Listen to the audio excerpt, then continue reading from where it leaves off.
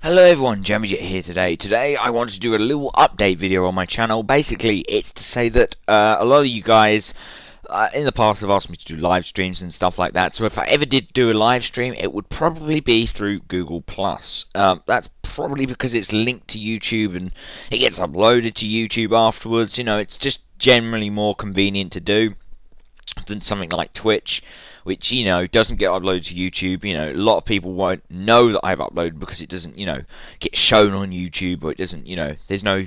I'd have to physically go out my way to post a video on YouTube to say, "Oh, I'm stream streaming on Twitch," yada yada. So, um, if you did want me to do a live stream, it would probably be through Google Plus. So I'd recommend that you followed me on Google Plus. Uh, there'll probably be a link in the description, if not on my channel, to my Google Plus account it looks like this if you haven't already seen it. Extra twerking. Um, I only have 15 followers so far, but uh, I managed to get plus 187 on that. That's quite impressive. Uh, but this video is also a little mini update to say if there is anyone out there who was interested in either revamping um, my channel art, which is like this banner here, which if I go over to my YouTube channel, you can see here my YouTube channel. Um, so this banner and this thumbnail, which would um, they, they both have to change. Possibly also an in in video icon that you have in the corner at the moment. It's just this Jamy Jet logo with no background that comes up in the corner.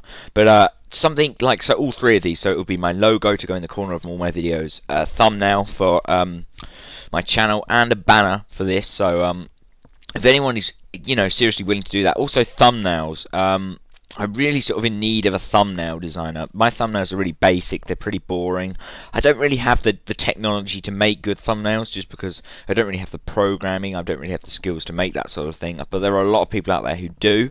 Um, if you did, I would give you shout outs in my videos. If you made uh, thumbnails and you know all my icons and stuff, I'd probably make a special video just to say that you've made some channel art for me and you've made some thumbnails and um, I'd send you my email address to PM on YouTube or you know through email, whatever suits you best, and I'd send you my email and and we chat like that, and I could uh, tell you what I want, and then you could design it and send it to me, and I would give you a shout out in my next video.